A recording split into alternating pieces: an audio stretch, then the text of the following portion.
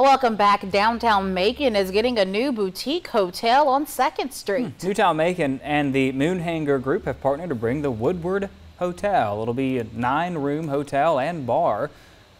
Its theme is literature. Each room will have an assortment of books as well as spaces to write and read.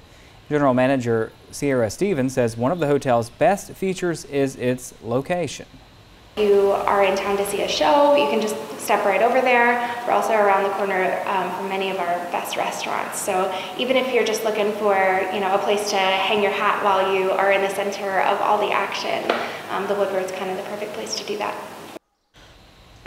the hotel will also feature a literature-themed bar and rooftop. Stevens says she expects the hotel to be fully operational by the end of the summer.